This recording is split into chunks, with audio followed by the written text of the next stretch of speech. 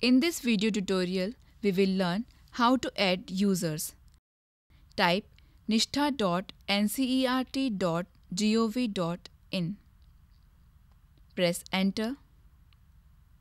Click on login button given at the top right corner. Write the credentials.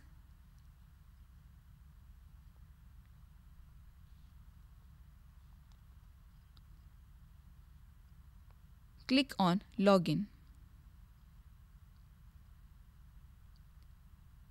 Now click on dashboard. Here you have to click on add users. For single user you have to fill the form. Give your details like first name, last name,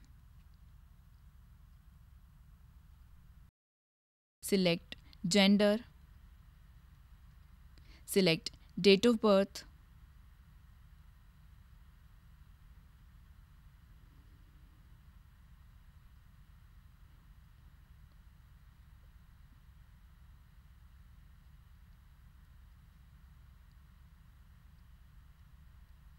After selecting date of birth, give your phone number,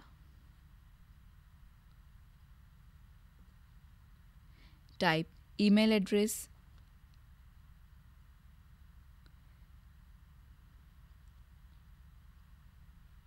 write designation,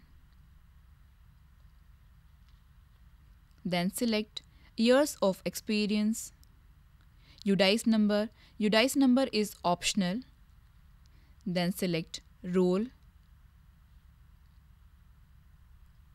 Write teacher UID. This is also optional. Select specialization or subjects taught. Select level. Write district. Write block. Village and PIN number.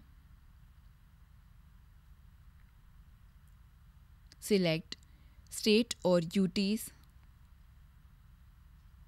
Select training cycle. Select batch and starting date of training and ending date of training.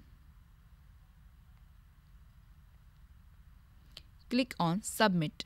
This you have done for single user you will get the message records updated successfully.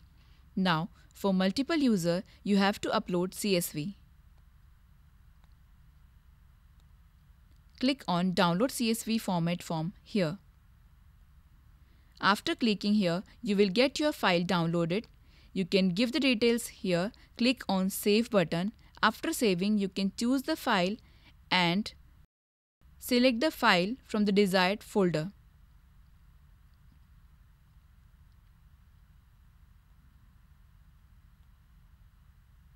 click on the file and click on import.